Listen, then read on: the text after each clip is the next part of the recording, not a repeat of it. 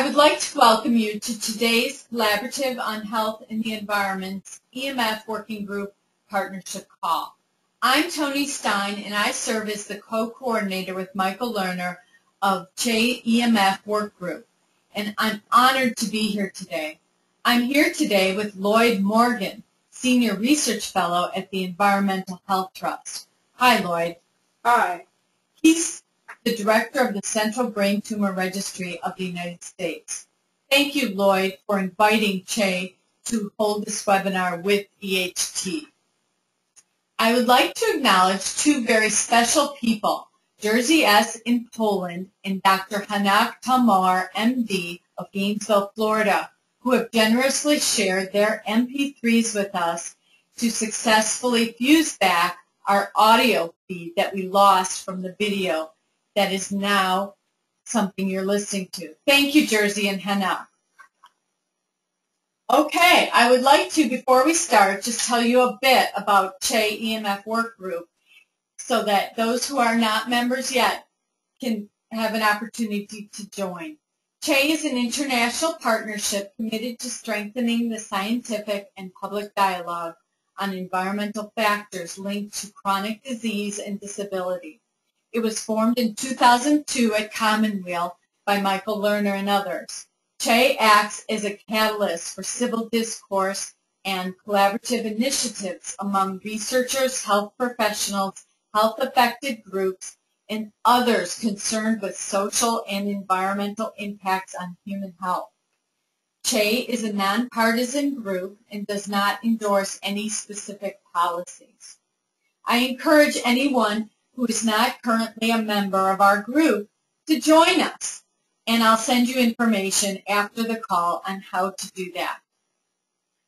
We have several spectacular experts today on cell phone safety radiation and its impact on pregnancy, sperm, and offspring. All of our speakers today have provided their PowerPoint presentations as well as rele relevant published papers. The video of this webinar will be posted on our website at www.healthandtheenvironment.org. This is the web page that you're looking at, and all you need to do is go into today's working group calls, click on it, and scroll down the page for today's date, November 12th, 2002. Click on it, open up the work group page for today's webinar, and you'll see all kinds of information about our speakers as well as go to the background information page and you'll find the webinar uh, um, from the National Pub, uh, Press Club as well as the webinar from today's spe speakers and all of the background information. Great. If you have any questions, please write me. Okay, moving on to our speakers. Our first spectacular speaker is Dr. Deborah Davis. And she is an award-winning, internationally renowned scientist and founder and president of her nonprofit organization, the Environmental Health Trust. Dr. Davis holds a PhD from the University of Chicago, as well as her postdoc fellowship in cancer epidemiology at um, Johns Hopkins University um, National Cancer Institute. She's a distinguished Nobel Peace Prize winner as she was the lead author on the Intergovernmental Panel on Climate Change, IPCC, research team, along with Honorable Vice President Al Gore in 2007. She has many awards, including the Rachel Carson Legacy Award by Rachel Carson Homestead. And she's a prolific writer. She's authored over 190 scientific publications, and she's written more than three renowned books, including When Smoke Ran Like Water in 2002, and The Secret History of the War on Cancer in 2008, and of course her 2010 book called Disconnect, The Truth About Cell Phone Radiation, what the industry has done to hide it, and how to protect your family. All right, well, I'm going to move on to introduce Dr. Deborah Davis. Thank you very much. Please join us.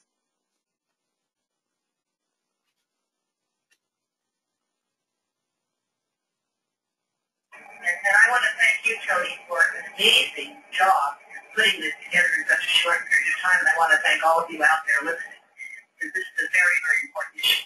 Let me know you bring up the first slide, Jason. Uh, um, all right, you're checking on the recording. All right. Jason, let me know when you can bring up the first slide. I'm just going to say that what I'm going to talk with you about today are some of the materials that we have recently um, discussed at the workshop at Arena that was sponsored by the uh, Swiss government and other um, and, and industry and, as well as attended by experts around the world, where we discussed uh, reproductive and neurological impacts of level pulse radiation. And uh, I'm going to go to the next slide and, and uh, say that one of the things that you will hear today uh, is that the biological impact of the, the biological impact of non-ionizing radiation varies with um, the temperature, the weight characteristics, the cell type, the tissue exposed, intracellular signaling, and um, types of exposure to continuous response. The speakers who are with us today will provide more details about this, but it's very important to understand that these factors all affect what kind of response you're going to get. And often when you hear about conflicting studies, because the studies think they're studying the same thing or not. They study a continuous signal, not a, a multi-dimensional signal. They study all the cells or cells that are more um, rigid like lymphocytes instead of more vulnerable cells like stem cells. Um, so um, I so Alright. Oh, I, I can't understand.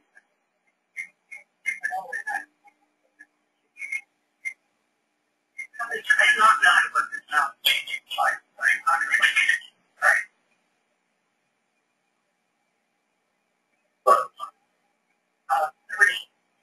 What I'm going to do now is share with you the data that from Dr. Hugh Taylor, who's not able to be on this call, but has published one of the most important papers in this field in the journal Science Report. And what Dr. Taylor uh, did was to show uh, that um, fetal behavior has an enormous uh, and exposures have enormous on the outcome in the fetus.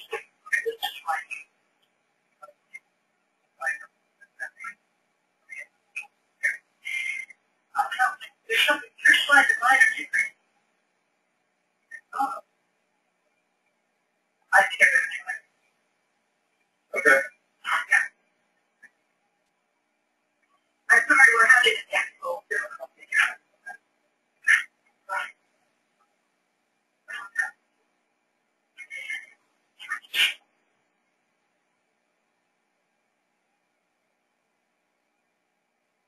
All right, let me go back. Let me start with this. Um, this was a slide developed by And it shows clearly that the impact of any radiation will vary.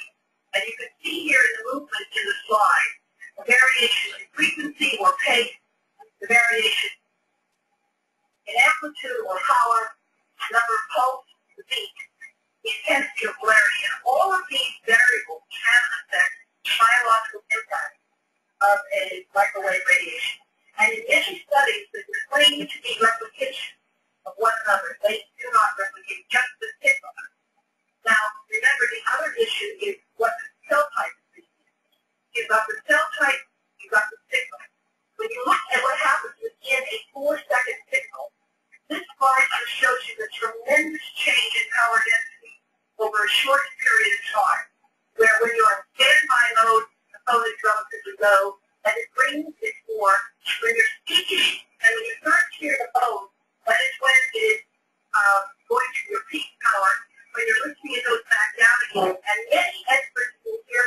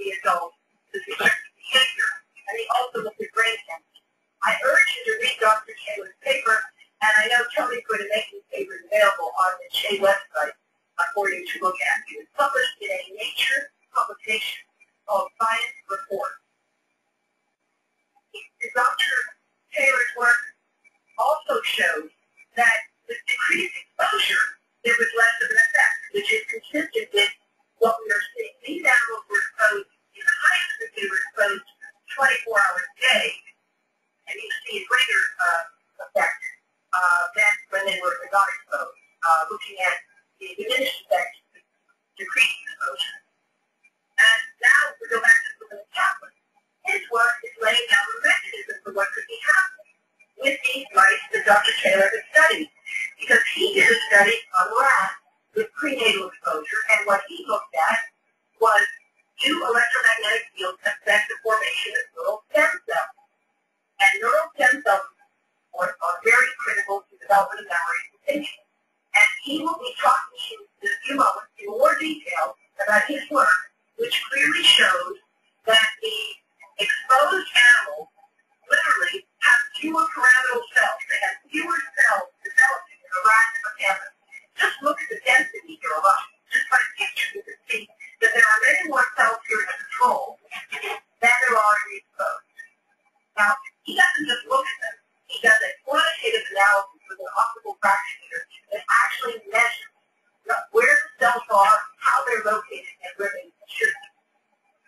And he shows that this granular cell loss uh, that is occurring of an inhibition of neurogenesis, the dentate gyrus, encourage prenatal life, and basically you start life with fewer brain cells, certainly start going downhill from there.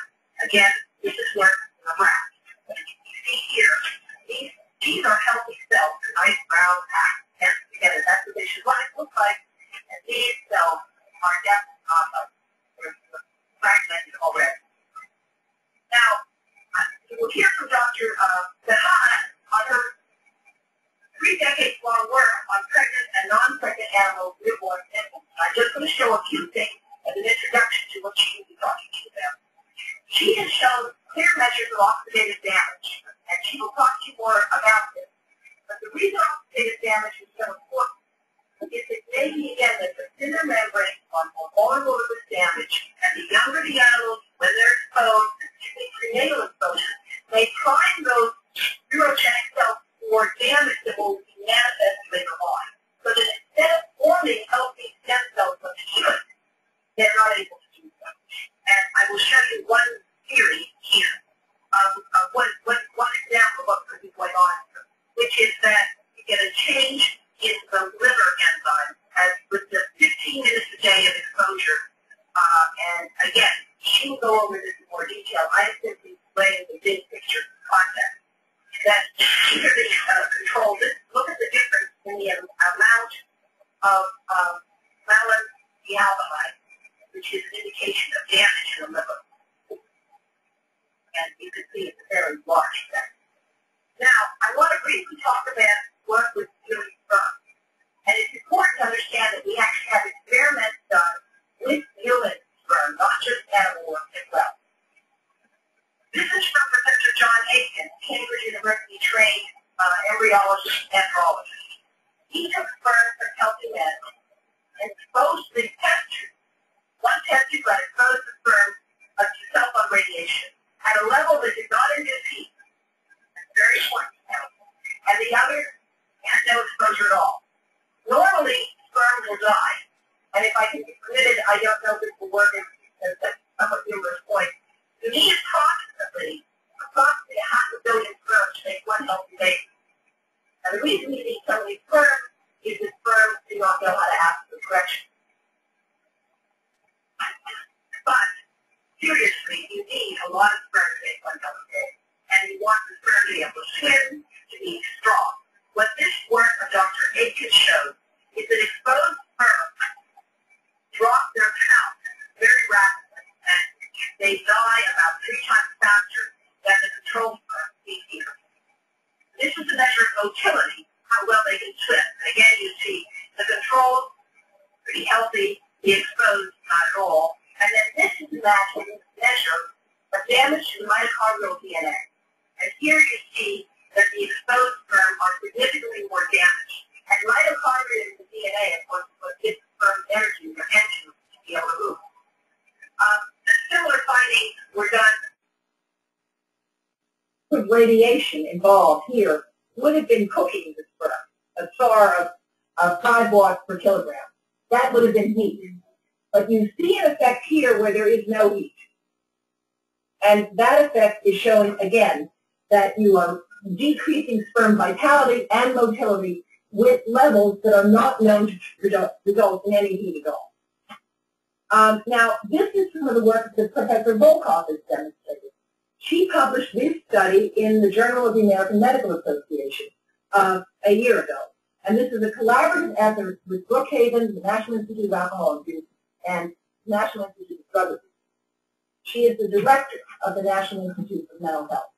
And what they did was to expose a, a person to a cell phone, literally in this configuration, where the person did not know whether the phone was turned on or not. So they, they, they were blinded as to whether the phone was turned on. It was muted. It simply was on. And what they found was that spending 50 minutes with a cell phone turned on against the ear significantly altered cerebral glucose metabolism. And you can see the alteration in glucose metabolism right here. This is your control. This is your exposed. And this is, in fact, the area of the brain that would have the most exposure. It's the area that showed a significant increase in glucose metabolism. Then, the summary of Dr. Volkow's work is that she found that those areas with the highest exposure corresponding to the uh, modeling that has been done of the brain had a significantly greater amount of exposure and its effect on the brain. Um, unfortunately, her work has not been funded to continue. And given the government cuts right now, it's proven very difficult for her to continue with this work at Brookhaven. Now I'd like to uh, close by sharing with you the theory of what could be going on here, and I really want to invite you to look at this idea. There could be an effect of the cell phone that is having an effect on calcium efflux. Remember I said weakened membrane? And this would produce reactive oxygen species that can affect the formation of protein kinase and also sperm motility and enzymes and so death. In addition, you could have another pathway from reactive oxygen species that would affect stress kinases. And affecting calcium efflux may be the start of a cascade of damage that could be happening within all membranes, whether it's the testis or the brain or the liver or the hippocampus or the dentate gyrus, that is leading fundamentally to a destabilization of cell membrane, leading to a loss of DNA repair, of course, damage to DNA repair, and uh, abnormal motility and morphology, and ultimately to DNA break. As Monte Verità, we saw that there was a lot of difference of opinion about the evidence on DNA breaks and damage, but there was a general consensus that there is something going on. It's just we're not sure how finely we can cut into what is happening. And this might be a way to link it together, that you're interfering with NADH oxidase, and that that is why the membranes are uh, weakened. So I, I, this, this picture comes from Hamada et al. I am simply telling you I like it. Um, I did not develop it myself. The publication comes from the group at the Cleveland Clinic led by Ashok Agarwal, and they have been developing work focusing on sperm impact. But it seems to me that all the things we're talking about here, the testis, the brain, the eye, the ear, they all have thin membranes that are vulnerable. And this might be the mechanism that could be involved for all of them. So you have altered calcium homeostasis due to low frequency uh, electromagnetic fields, and you then get negatively charged phospholipid bilayer cell membrane that can affect divalent cations such as calcium that then has an effect. Um, this is a, more elegant version of the same concept. And again, I will put these slides up for you to look at. It, it's in the Hamada et al. paper. Thank you very much. Great. Thank you very much. I am now going to introduce our next speaker. And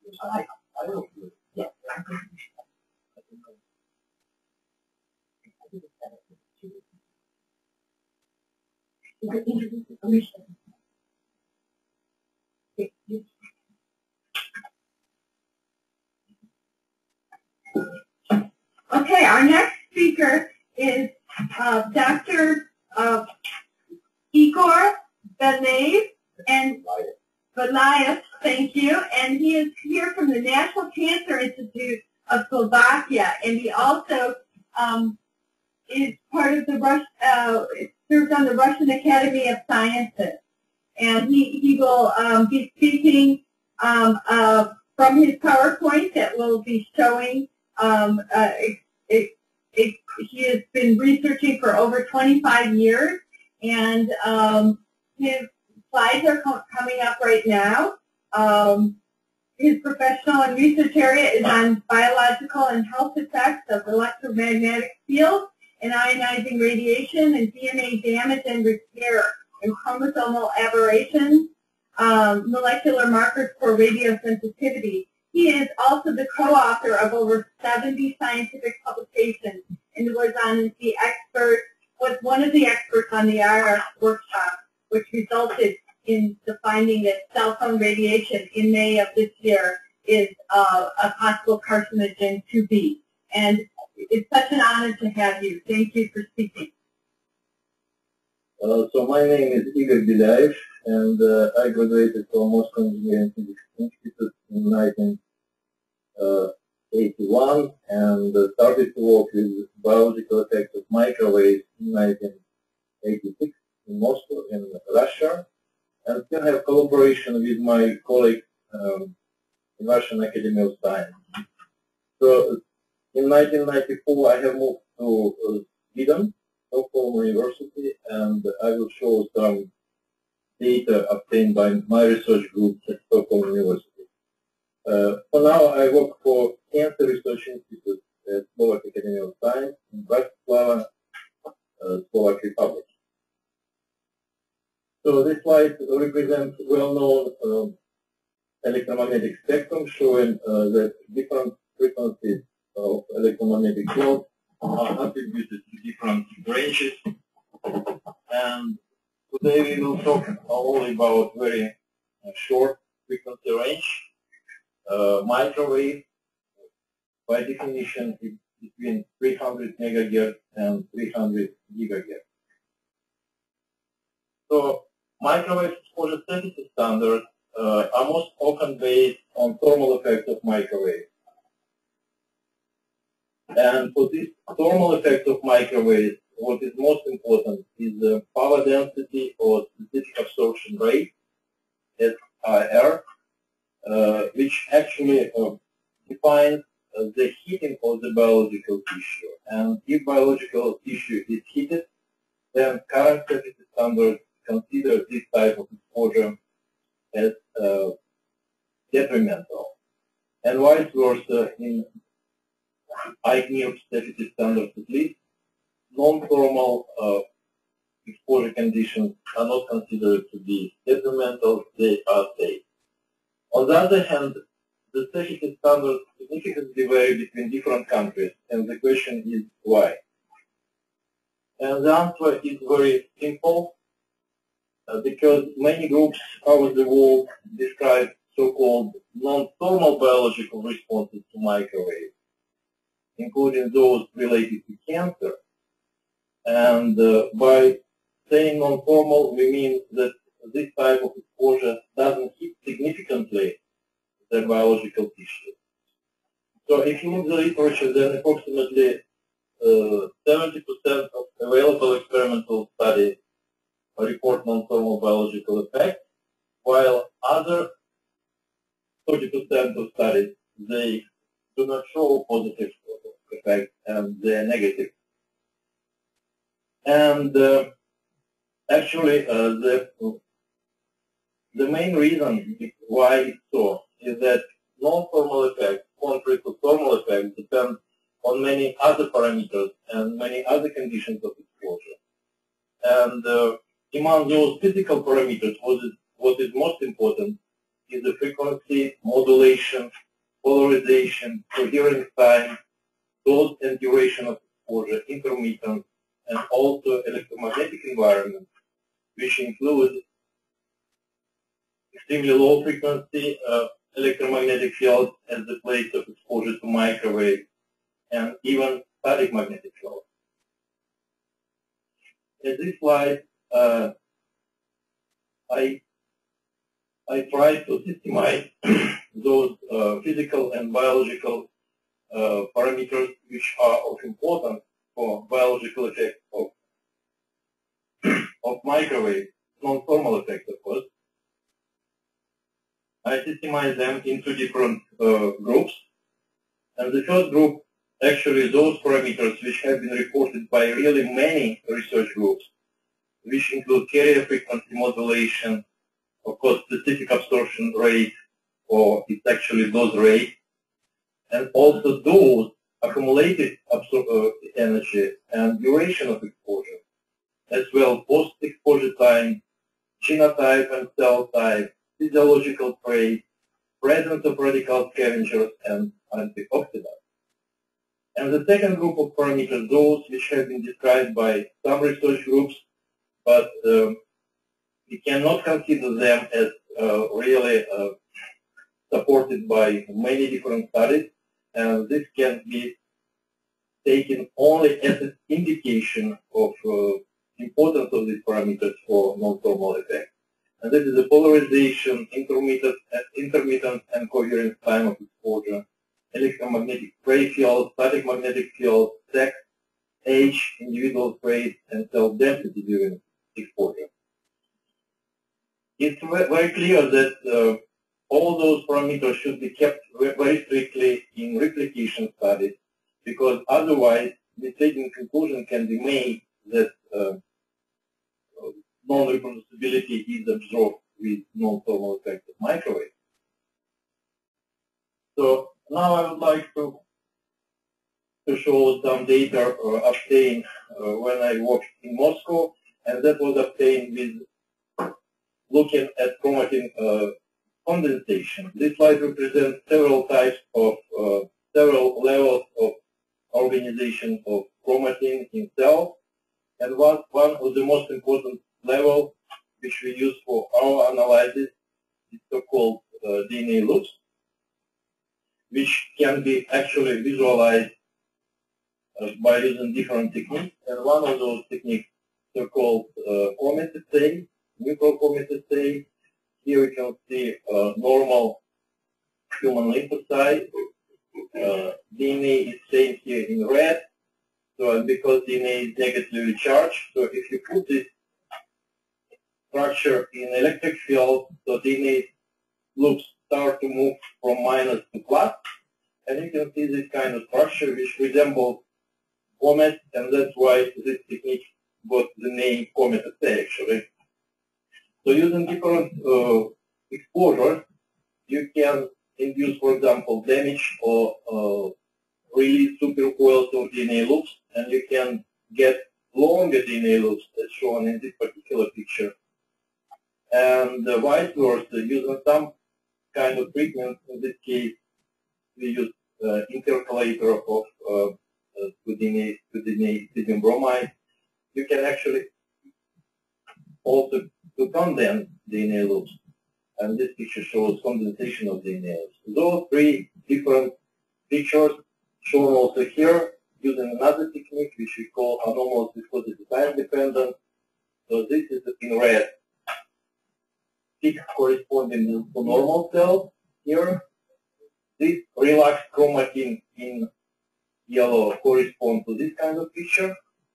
And very small peak in green corresponds to condensed chromatin. So anyway, we have used this technique to look at uh, effects of, of microwave on living cells.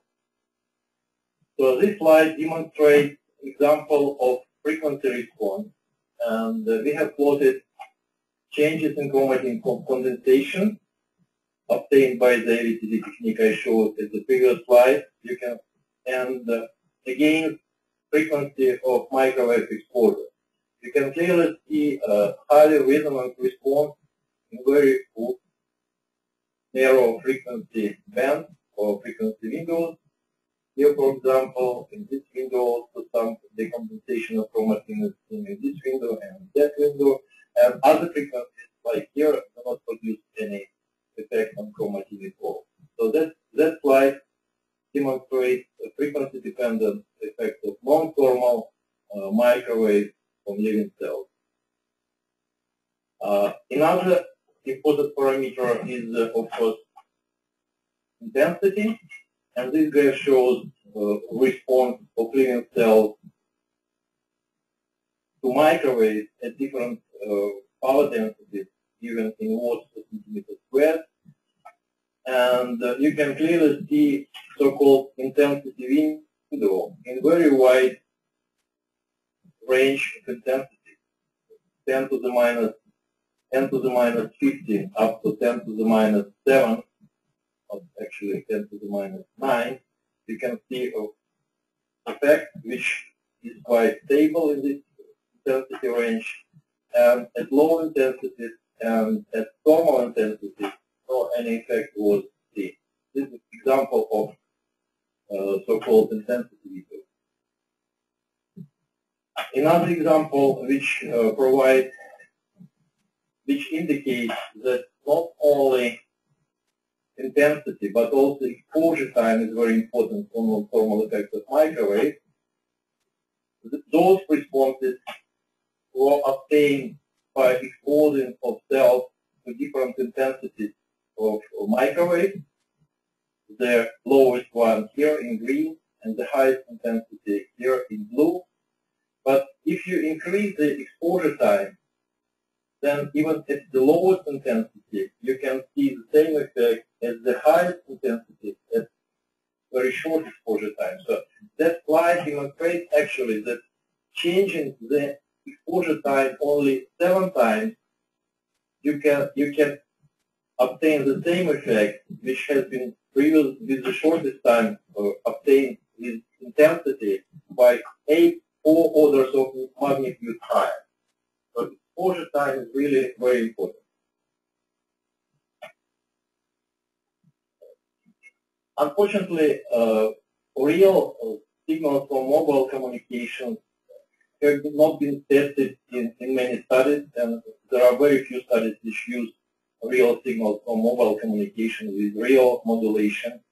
And uh, in our study, we used two different uh, signals. One of them was so-called GSM signal, and Here you can see how it looks like in terms of modulation.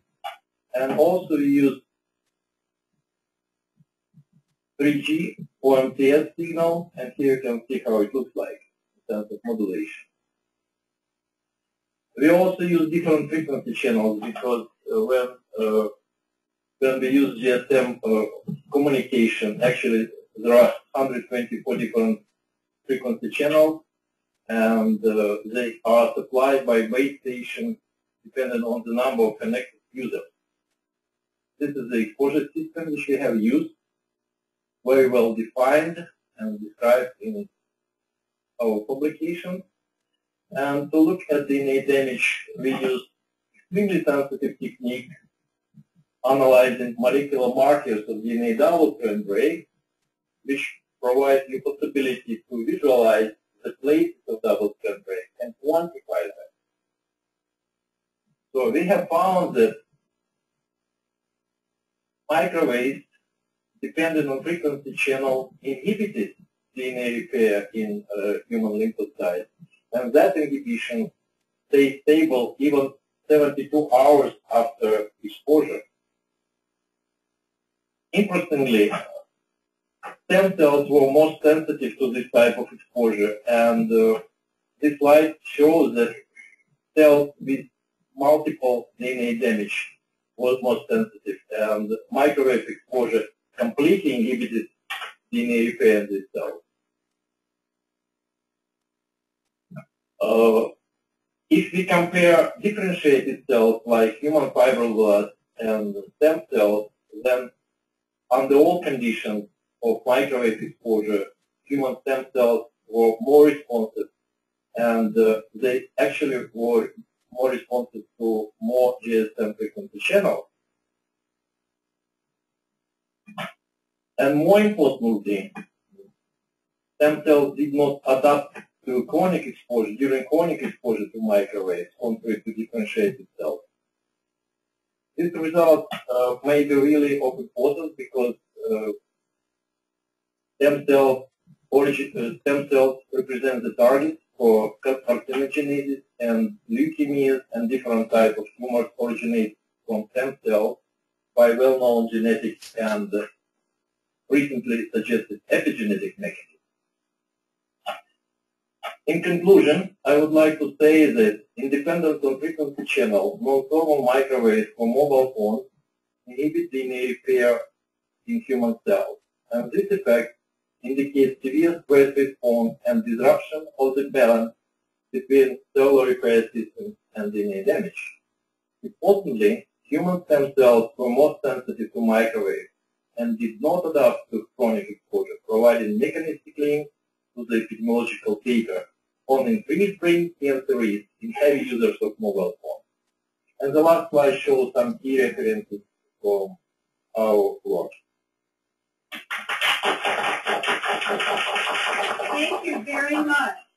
Um, our next speaker is uh, Dr. Kaplan, Suleyman Kaplan. He's from he's a professor at OMU in um, Turkey, and He's the pioneer in analysis of embryology and the author of a major paper published in the Journal of, of Brain Research showing prenatal exposure to cell phone radiation in rats results in offspring with smaller brains and with more brain damage and greater structural damage to their skulls.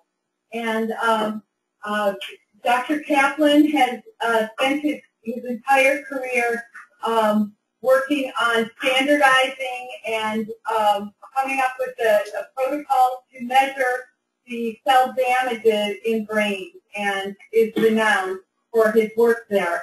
Um, he will be pre presenting his slides in one moment.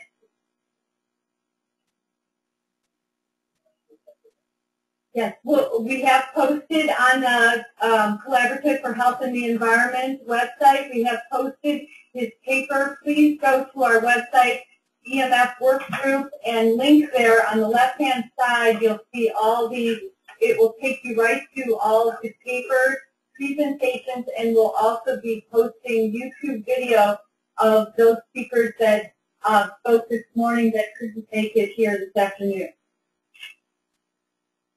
Dr. Kaplan, thank you very much. Okay, uh, thank you very much, uh, Tony. Uh, I would like to thank uh, to the uh, our, uh, Health uh, Trust organization and also Dr. Devra Davis give such a good opportunity to us to give uh, sharing our uh, experience with all with our audience. Uh, as a, I am a professor in Department of uh, Histology and Embryology. Uh, I am uh, dealing and my my main subject is neuroscience and so investigate the toxic effect of the substance and also environmental toxicological stuff on the, uh, uh, nervous system development.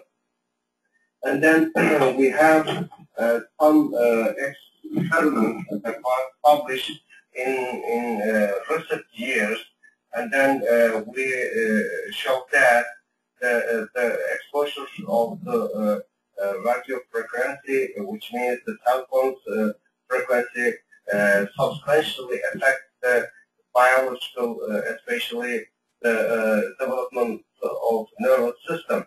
And then we have two type of set of experiments. One type is uh, uh, is about uh, prenatal exposure of uh, uh, electromagnetic field uh, on the uh, central nervous system, uh, uh, especially on the brain. And the other part of our experiment is about the postnatal life. Uh, I will show you uh, all, all uh, quantification uh, after the exposure we use in all experiment uh, stereological techniques. Uh, that means uh, this, uh, by means of these techniques we can uh, receive the correct uh, information about the tissue. Uh, after the exposure, uh, we know the exact change in the in the tissue level. By means of these techniques, we can uh, learn unbiased the, the real change in the tissue. It's uh, very very important since some of the authors uh, use the, uh, this uh, exposure and then they uh, may uh, not uh, found any difference between exposure and the non-exposure uh, animals and the experiment. Uh, the, I think the main uh, uh, difference, main uh, uh, unsolved problem is uh, using the un, using the bias technique. If you use the bias technique, that means you cannot communicate with the tissue uh, in real language, and then you- your language should be uh, the same with the tissue uh, language. And then uh, if you use the- these techniques, you get uh, correct information about the tissue. And then I will uh, mention about the effect of uh, electromagnetic field on neuron numbers. And then uh, this is the, mm, uh, this is the uh, a brief uh, summary of the what does mean the stereology.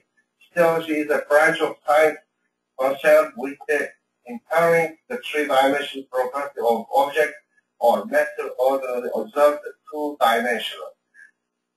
And then if you look at this uh, tissue blocks, you can see three uh, particles. That means we can also say three cells. But uh, if you look at the, in the 3D, that means you can uh, uh, count correctly. But uh, in generally, we use the section uh, sections, and then we can um, we can estimate the number of cells. It's in this picture as you've seen in at the right side, uh, one uh, particle gives more profile number, and then uh, at the left side is give two, and then the middle one give only one. How can we found, find the correct number of cells? And then in this point, we should use the stereological technique that uh, approach the tissue in 3D.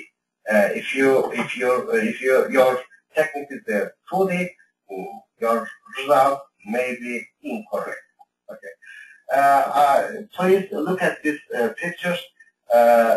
We we have an imaginary example, and then the, this this this tissue block have the same number of particles, uh, or three figures have same particle number.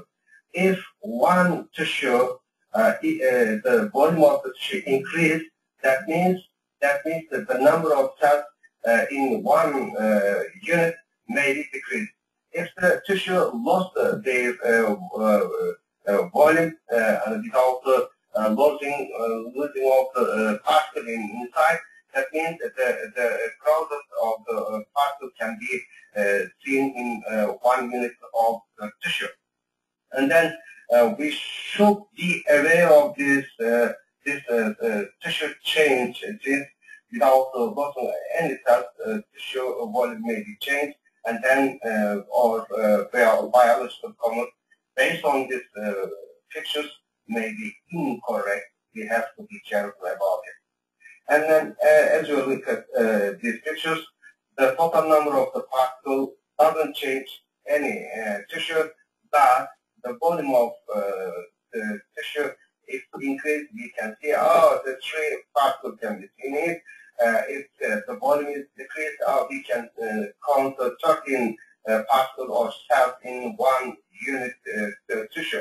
And this, if you if you use this figures, and then uh, your comment is based on these figures, that means your biological comment may, might be incorrect since the total number of the cells, total number of the particles doesn't change any uh, in tissue. Okay, after uh, this, uh, I would like to give some information about our recent, uh, uh, recent paper that was published in Brain Research and then as you see in here, we use the uh, trend not of exposure of the electromagnetic field. And then after the uh, exposure of, uh, we want to know what happened in the uh, offspring of this uh, rat. And then for this experiment, we have two groups. One is control group, have three pregnant rats. Uh, another group have uh, three uh, electromagnetic exposure group have three pregnant rats. Uh, we use we use the, the pregnant rat and then uh, uh, the uh, technical information is seen in this this slide, and then I would like to pass quickly. And then after the exposure of the uh, after the experiment, we received five offspring from the control six positive from the pregnant rat. And then uh, exposure groups had uh, 900 megahertz for uh, one hours per day between the gestational uh, gestational period. You know, the uh, the gestational period is uh, taken about 21 days for rat. And that means from the first day of gestation to the end of the gestational day, uh, this rat uh, received electromagnetic uh, field during their gestational life. After the after the offspring born, and then we we look up look at them, and then uh, four weeks uh, later, uh, that means the postnatal, at the postnatal of the fourth week, all animal are sacrificed, and then we uh, yeah, are used, we use the optical fractionator technique is, uh, is one of the stereologic techniques to count the number of cells in dentate gyrus. As you see in this picture, uh, at the left side we have a uh, pictures, uh, it was uh, taken from the control group. At the right side we have a uh, expose uh, expose uh, groups pictures. As you see here, control group has very clear and very healthy cells in the granular layer. But if you look at the exposed many also very dark cells. That means these cells will be died. Uh, these cells will not be uh, make a, a real function in this uh, very important brain region. Or uh, uh, in, in this site, I should say that our comment is not based on this picture only. We always called the total number of, uh, we always estimated total number of cells in any region uh, for uh, making a comment in this position. As you see here, we have two groups. One group uh, control group have 1 billion uh, 235,000 cells, but the exposed group have uh, 994,000 cells. Uh, the difference between both groups is very, very significant, and then uh, it uh, can be easily uh, seen in this picture. As you see here, this is the granular cells in control group. This is the granular cells in the electromagnetic field group. Uh, as you see here, granular cell loss might be caused by inhibition of the granular cell neurogenesis in the dentate gyrus during the prenatal life as well as in the postnatal life. I am happy uh, to hear that uh, my colleague Igor uh, mentioned about the stem cells of the uh, of the brain uh, of the human human human body. Uh, cells may be uh, well high vulnerable to electromagnetic field exposure than the other the type of cells. Uh, this uh, result may be uh, parallel with the Igor result. We have we have constructed another study. in this study, we we searched the effect of the postnatal light exposure of the electromagnetic field. Uh, in our previous study, we searched the prenatal exposure effect. In this, we searched the postnatal uh, life effect of the electromagnetic field on the brain. brain. And then we have the three groups. One is control, other is sham group, uh, uh, third one is the uh, uh, electromagnetic exposed group. Uh, each group has six subjects, and then each subject have one hour, one in, in day for 20 days, that means four, four weeks, and then uh, uh, electromagnetic group received uh, 900 megahertz electromagnetic field uh, in exposure. Sham group uh, was placed in the exposure tube but not exposed to electromagnetic field. Control group was not placed into exposure group, nor they were exposed to electromagnetic field during the study period. Uh, this is the uh, information about uh, exposures uh, degree, and then uh, at the end of uh, experiment, that means at the 16 week of the postnatal life, all rats sacrificed, and then we count the, the, the, the cell number in the hippocampus.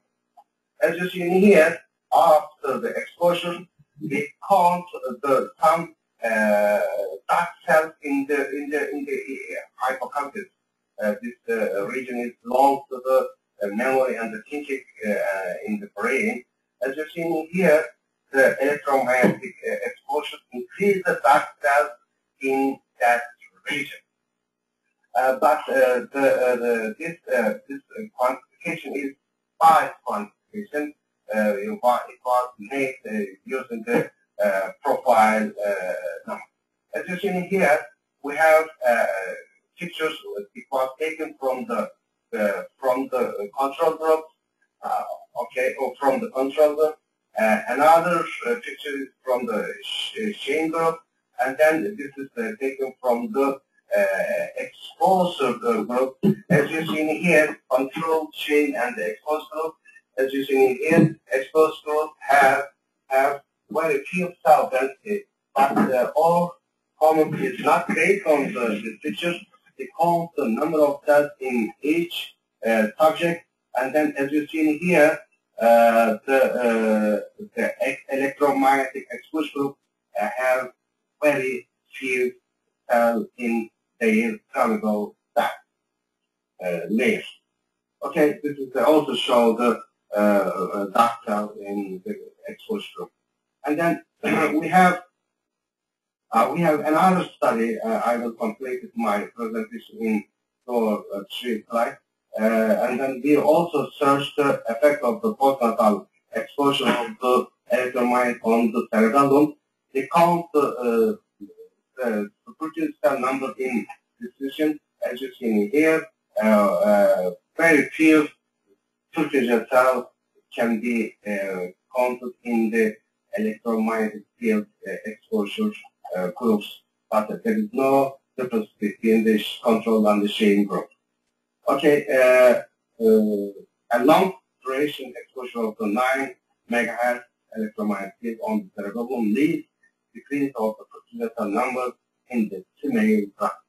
Uh, thank you very much.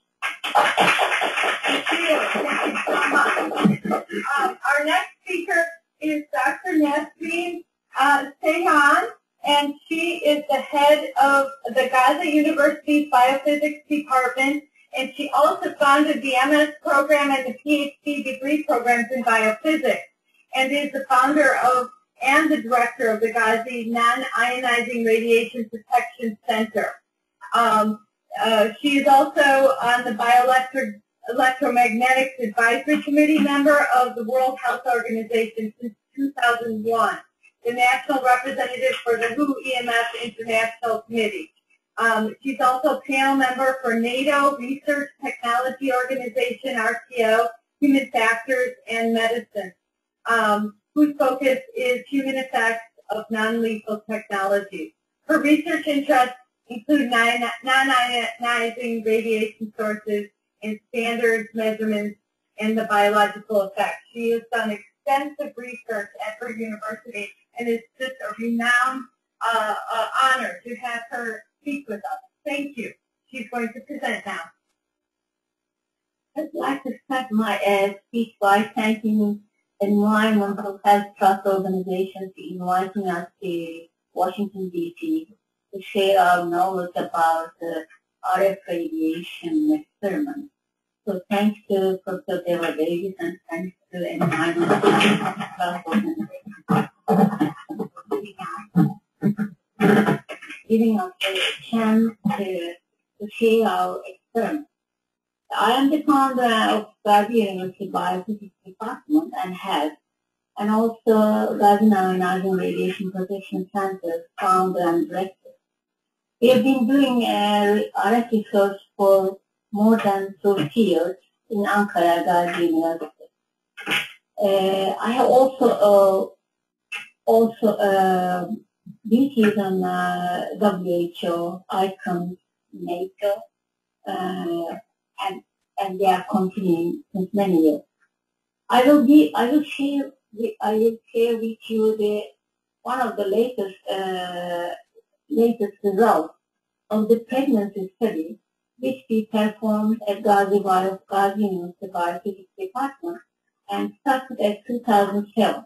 The study still continues and I will share you with the results we have done by now. We have get by now. 1800 megahertz GSM modulated RF radiation we used. Exposure duration was 15 minutes per day for 7 days. And totally 127 New rabbits used. Uh, and we analyzed non-pregnant, pregnant, offspring of 2 days old, and offspring of 1 month old rabbits. I will give you details of the analyzed parameters. We analyzed oxidative damage looking to the brain and liver tissues and analyze oxidative damage by looking through the enzyme activity and end product. For the enzyme activity, we, we look through the XO and AD, and for the end product, we, we analyze malondialdehyde, aldehyde, nitric oxide, and other many, many parameters, and DNA-based modification. We also go through the antioxidant enzyme activity in brain and liver tissues for all the animals, pregnant, non-pregnant, uh, offspring, newborn. And we, we, we want, we will like to see whether there is any change in, in most of the parameters related to the antioxidant enzyme activity in brain and liver tissues. We also made uh, realize histopathological and immunohistochemical analysis in the brain, eye, liver, lungs, kidney and kidney tissues. And we, we would like to see what is going on in for the apoptotic cell formation. And lastly, we analyzed hearing effects by looking to sounding a work of otoacoustic emission and distortion, distortion product. We used total 126 adults, pregnant and offspring New white rabbits. 18 of them adults, 18 pregnant, 18 newborns, two days old newborn, and 20, 72 offspring, one month old. Uh, 36 of female are also analyzed, 36 males analyzed separately. Animals are chosen among having third pregnancy. And they pregnant rabbits along with non-pregnant were housed in Guardian laboratory animal breeding and experimental research center for five days before starting marriage exposure. Pregnancy duration is approximately, approximately 30 to 30 days, 33 days for these animals. Exposure started at the 15th day of the pregnancy. This is embryogenesis and organogenesis period. Animals are exposed to 1800 megahertz GSM modulated RF with 217 hertz, 20 decibels, dBm, and 14 volts per meter uh, electric field, ambient electric field, with daily exposure of 15 minutes 7 days. And for the technical information, GSM-IC signals at 1800 megahertz are formed by signal generators on antenna Schwarz views. The generator's power is controlled by system analyzers. Measurements of the output radiation is performed with NARDA EMR 300. So exposure system is, uh, for the exposure system, uh, and one month old infant, he also calculated SAR uh, as 1.8 watts per kilogram by using FDTD method. Animals are exposed to RF in plexiglass cages. One rabbit, one cage exposure, and four of, of the one cage condition. On antenna, animal distance was 20 centimeters Exposure period was 15 minutes per day and for seven days, I told you before. And we used 1800 megahertz pulse RFR with uh, 217 hertz GSM modulated, 20, uh, 20 dBm, and 0.4 watt uh, uh, power and 14 volts per meter ambient electric field. Procedures for laboratory animals approved by local ethics committee of Gazi University.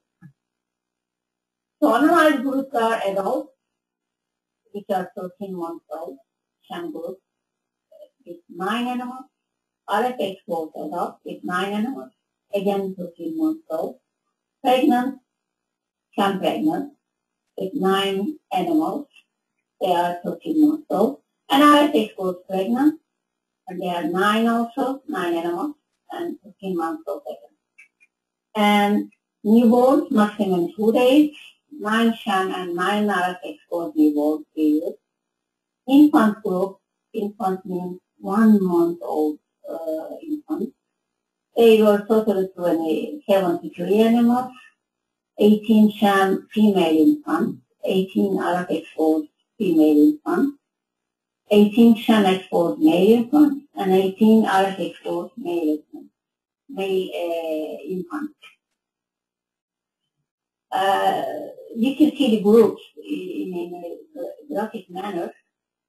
Uh, we, we have adult sham, RF exposed adult, pregnant sham, and RF exposed pregnant. For the pregnant sham groups, we, we get newborns of maximum two days.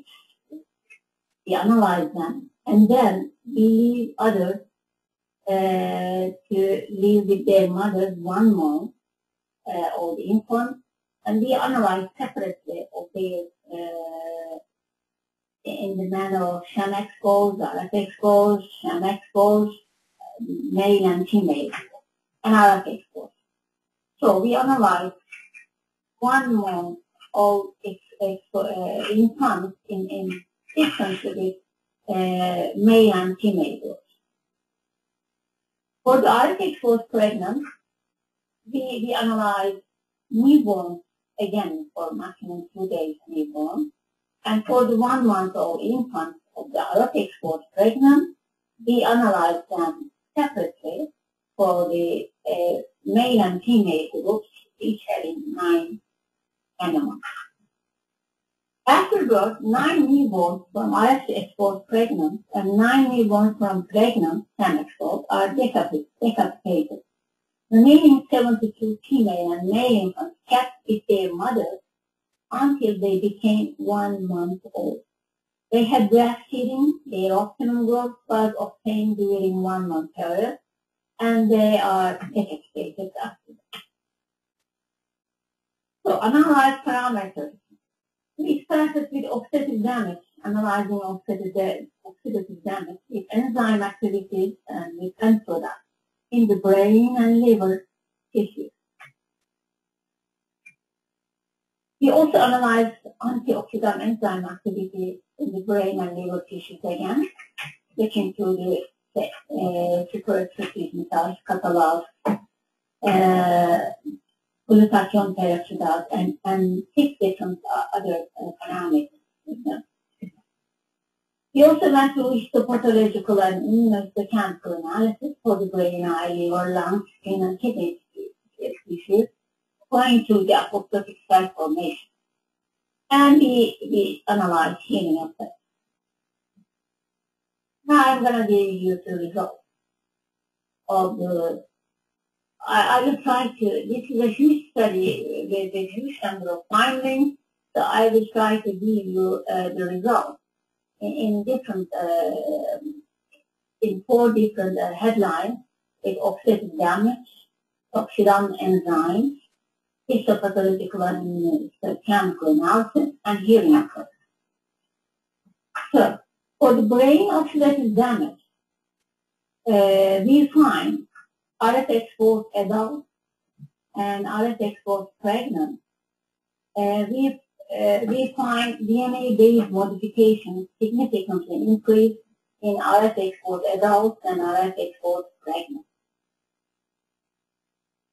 For the brain antioxidant enzyme activity, we found uh, superexcitation uh, significantly decrease in RF exposed adults and RF exposed pregnant with catalase and MPO and GSF activity.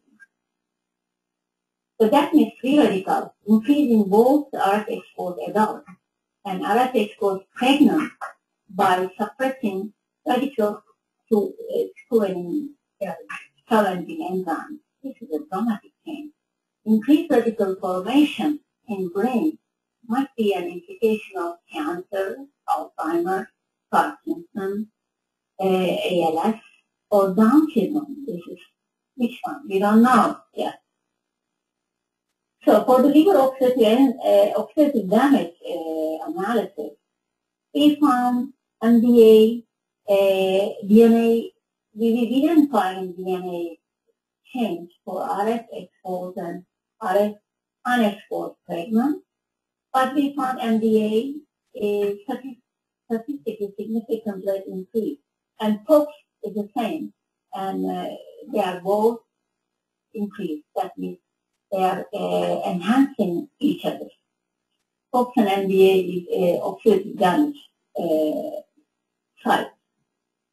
So for liver oxidative damage for intraocular exposed group, we found no change DNA in DNA uh, base modification for the newborns of two days old and no change in male one month old.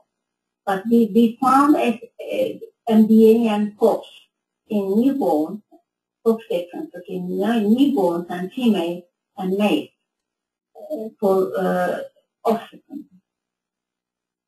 For extra, extrauterine exposure groups on the liver oxidative damage study, uh, we didn't find any important uh, DNA-based modification effect. So we can say intrauterine and extrauterine exposure lead to DNA-based modification only for females, even if statistically insignificant. So female infants are more affected. In other words, female infants are more sensitive to both extrauterine RF exposure than male infants.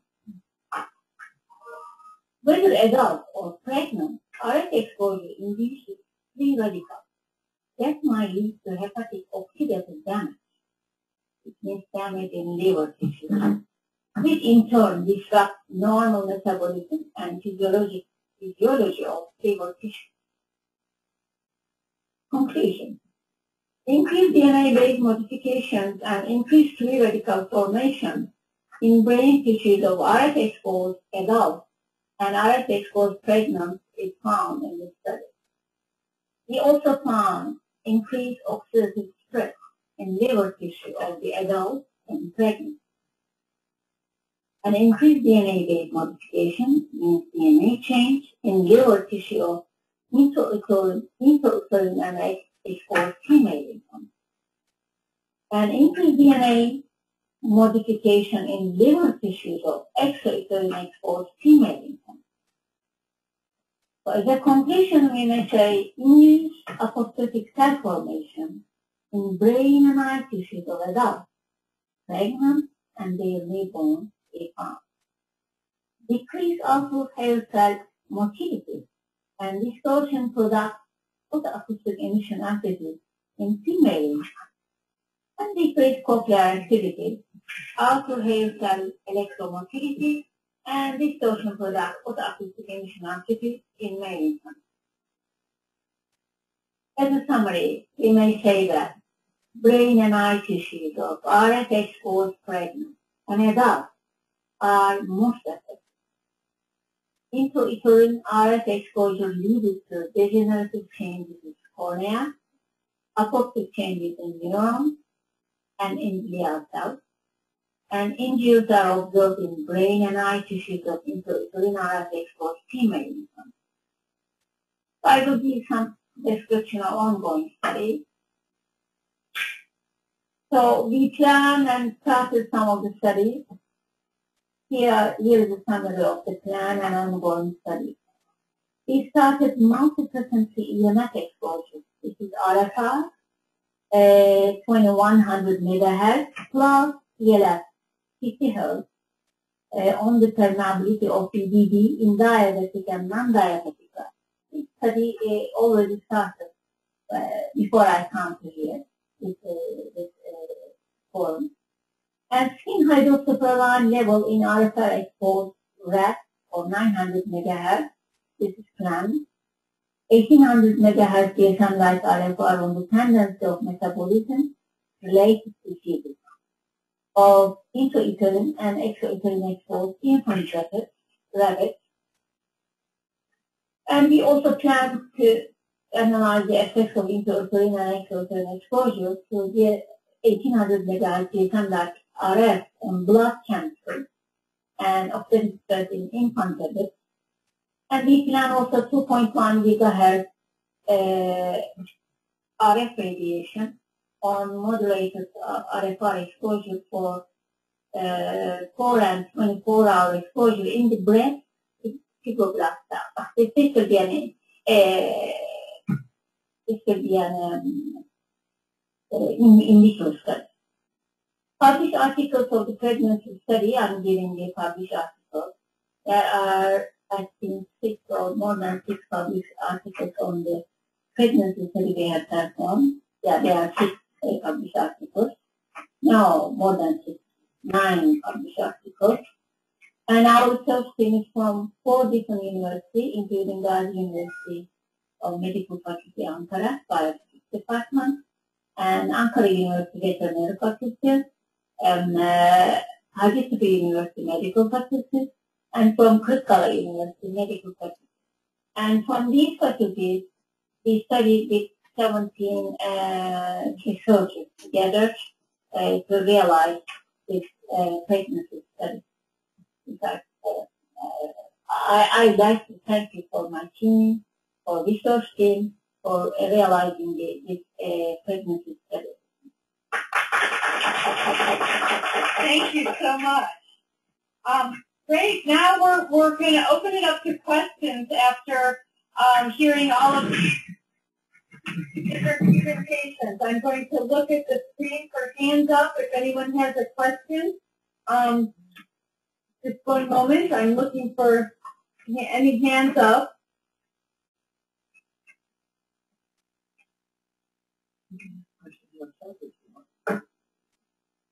I can answer the question. Yeah, of course. Okay, well, we'll, we'll open it up for any questions from the room. I would like to ask Dr. Seyhan and Dr. Kaplan, um, how do you select your newborns for your study? Because you have litter, you have a lot of animals, and uh, how do you how do you them? Newborn are two, two days old newborn, and one, we expose them to the RF radiation one month old, and we analyze them. Uh, we have many uh, newborn. We, we select them uh, equally with female and male groups, and we analyze female and male newborn separately. So we just selected some healthy ones. So they have to be healthy, they have Yeah. normal body weight. Okay, we have one question from the audience. I'm going to come back to the room. Um, first, Ms. Uh, Bill,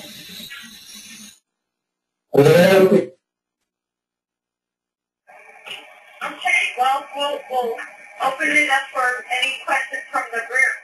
I would like to ask Dr. Seyhan and Dr. Kaplan,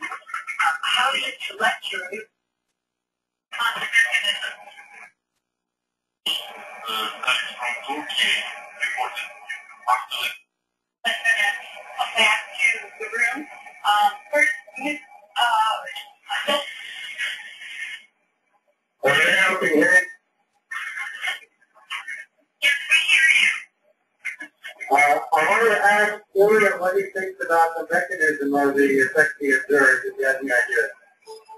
Who is it to the question? I didn't, oh, he's right. On the mechanism. Could you please repeat your question? And asking you what do you think about the mechanism based on the work that we've done today. And I talked about calcium and. Uh,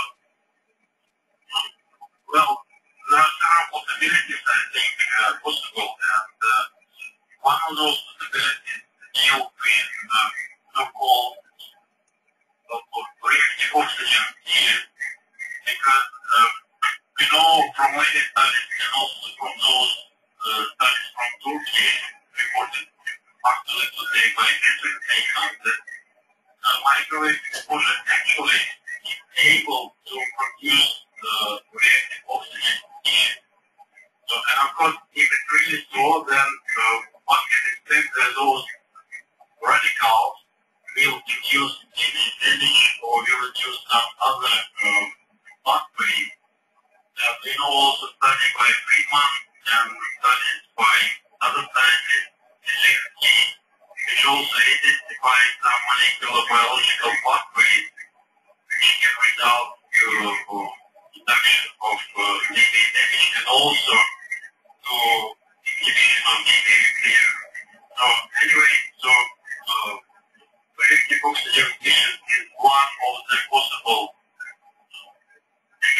and also this possibility also brings data updated uh, by many research groups about effects of antioxidants are able to actually demolish environmental effects of microwave different kind of uh, different kind of endpoint, the different level. Experiments in animals, also in experiments with cells. But uh, that's why I think that uh, pathway is quite possible. Thank you. I'm going to move to the next question. Um, Anderson, I where to mute your phone. Can you hear us now? Yeah.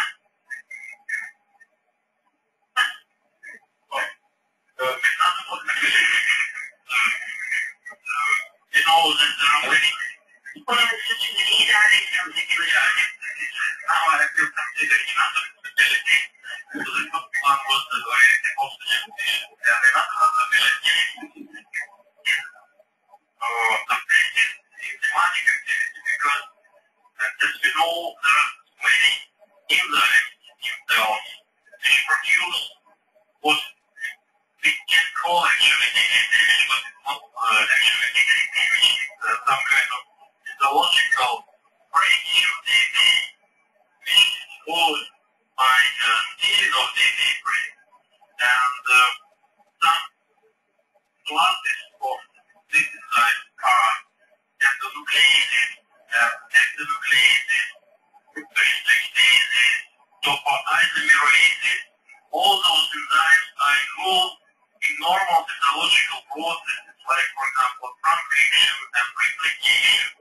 like, for example, the, the NATO preliminary tool produced double threat breaks just to release superquality of DNA and to facilitate transcription and replication. But after this process uh, has been reduced physiologically, then after transcription has been uh, completed or replication, so those physiological DNA breaks will be still requires no question marriage to attempt sexually. There's no physical. So if you are able to affect the automatic activity, to affect those inside, like uh, dopamine the endonuclease, restrictase, then you also will produce, in double brain break,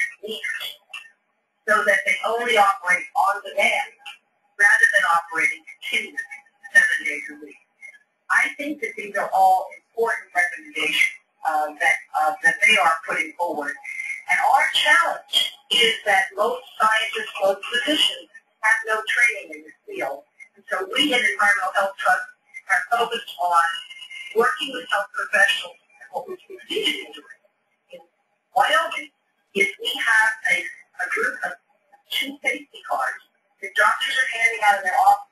And those of you who go to our website, environmentalhealthtrust.org, and click on resources, you'll find this doctor's safety pamphlet, which thanks to Nesrin has been translated into Turkish and Finnish, I think we have Spanish, uh, and a number of languages, and it shows very clearly in two sides, over the half, what people need to know in order to take this precaution.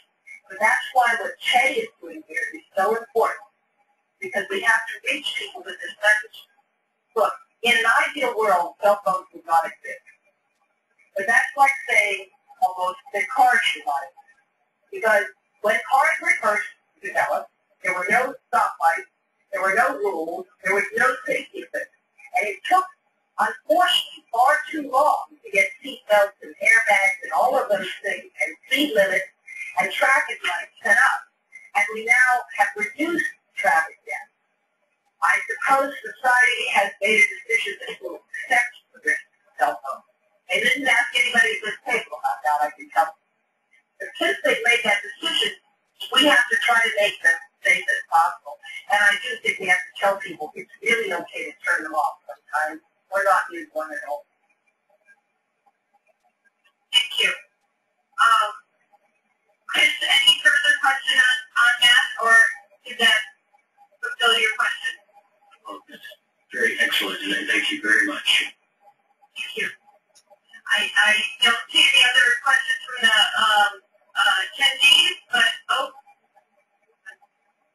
oh, there we go. There we go. Thank you. Um, okay.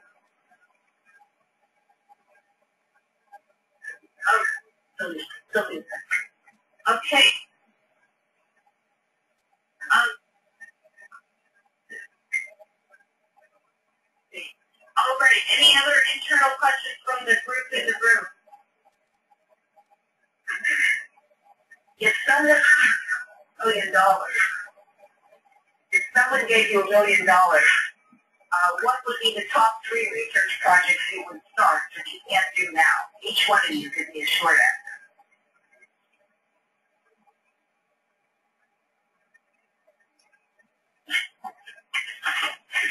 Uh, first of all, uh, it's very difficult to uh, spend this uh, very huge money.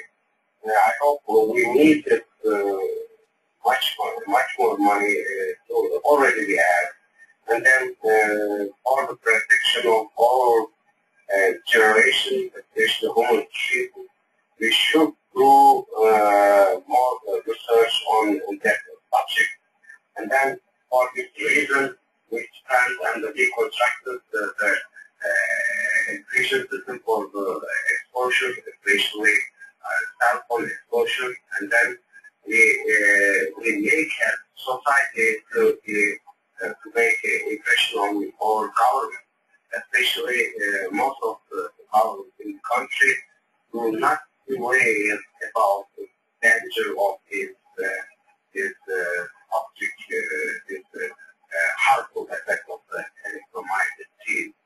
And then, uh, the, first of all, we have to make uh, a, a, campaign, a campaign about the uh, panels using the uh, mobile phone in, in some uh, such areas, school and the hospital and the, uh, and the uh, kindergarten, and then should be uh, safe area for them. So.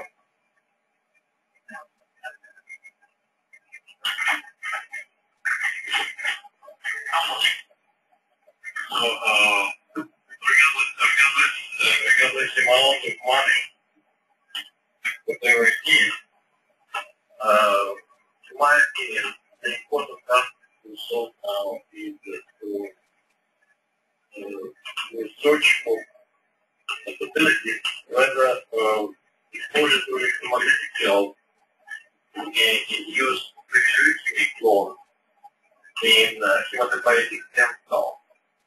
Uh, why I have concern about it? Because first of all, uh, it's very well known and it has been accepted uh, by scientific community that there is strong correlation between exposure to extremely low frequency electromagnetic field and increased uh, risk of childhood leukemia.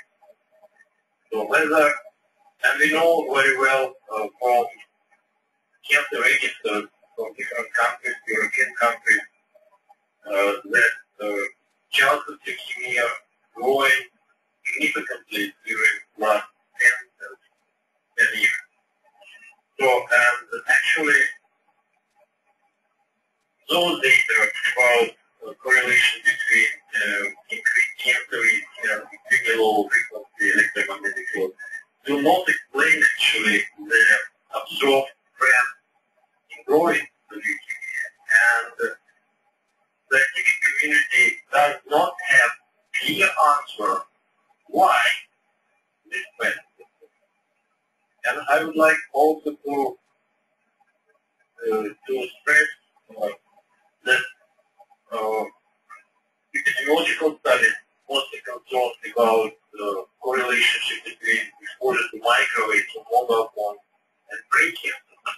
And again, because stem cells are distributed uh, in all organs, and actually because all organs are exposed to microwave, not only for mobile phones, but when we are talking about also when mobile phones are in standby mode, when they have uh, they, are exposed to other sources of mi- microwave radiation like uh, Wi-Fi and uh, wireless uh, wireless uh, phones and other sources. So actually, uh, there is a concern whether other types of cancer can be induced by, by microwave exposure and also including uh, uh, leakage. So that's why uh, actually I think that uh, there are several indications why we should look at possible correlation between exposure to microwave and originate or production of uh, chemical hematopoietic stem cells. So and actually we have started this type of studies which are in very beginning now. And we don't have any data, but that is a research area which I would support if I would have something to do. And so we have a question from you for, from Dr. Von House. Why did you use fifty-one gigahertz? Uh, is that much higher than the cell phone frequency? CT reported using fifty-one gigahertz, was it?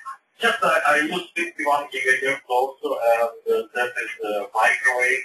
Uh, the definition of microwave uh, is that the frequency range uh, starts from 300 gigahertz to 300 gigahertz defined in microwave. So, and uh, What does exposure come to for that? Or that's not a cell phone? uh, in my experiments we use a generator, which generates this kind of uh, this kind. But if the question where uh, in what situation we are exposed to what environment, so I can tell you that uh, this type of radiation, this type of uh, this type of frequencies are used, for example, uh, for uh, the, some uh, some cars. This type of uh, frequency are used to determine the distance between the chassis of car and the road, just to adjust the level, uh, the level of chassis to avoid to, to, to, to avoid those. Uh, yes, So, so you're saying that, that currently cars are using this fifty-one gigahertz in order to adjust the distance between the body of the car, the chassis of the car, and the road. Some cars, some cars, more, more, more luxury cars, like they, which are able to adjust the, the distance between the road and chassis. And that they use both because not exactly 51, of course, but Yeah, that- maybe maybe 49 or 60, I don't know exactly the frequency, but in that frequency. Anda, are you on the, on the line? Yes, yes. I, I, I say, hello, how are you? Anda is Professor,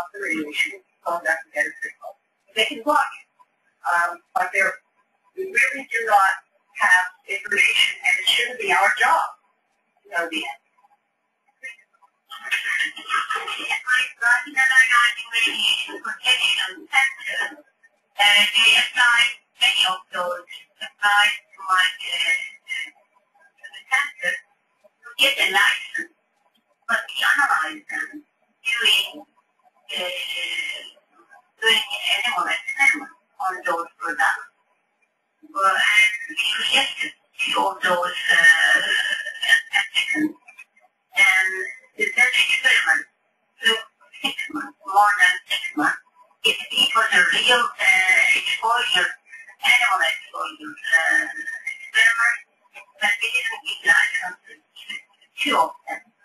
And I don't think there is a uh, theory um, for that, but you see.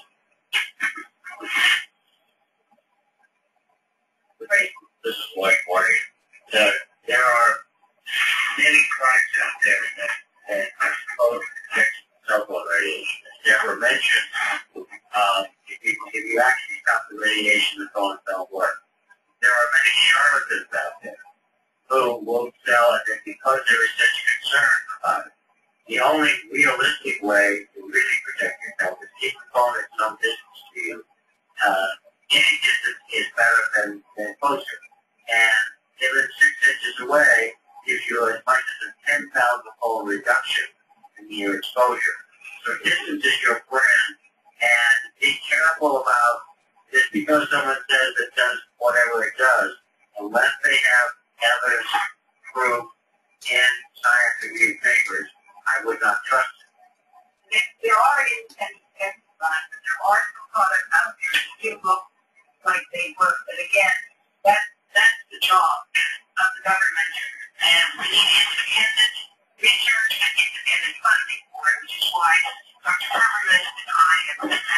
a dollar fee for eight years to create a multi-million dollar training and research program so that there will be training for the scientists, engineers, and physicians, as well as research funds for a period of at least eight years.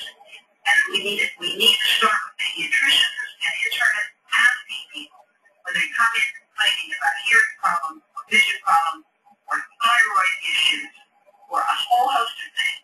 Please tell me about how you use the cell phone, how often you use it, etc. Because until we start to do that, we're not going to have that kind of information. And in the meanwhile, just as Lloyd said, people need to take the simple precautions that have been recommended by a number of groups out here. Tony, do we have, I know at one point we had over 100 people registered. 175 are on right now, and I appreciate everyone attending, and we will be posting both a videotape from the National Press Club at DC on the website as well as the name of this, all of the presentations and more information, including publications on the CHE website. Please go to the left-hand side of our uh, EMF work group page and scroll to the bottom, and you'll click over to that web, that web page. And Jay is to be thanked for putting this together, and you especially, Tony. We will be having calls in the future, and please tune in next. Thank you. Bye.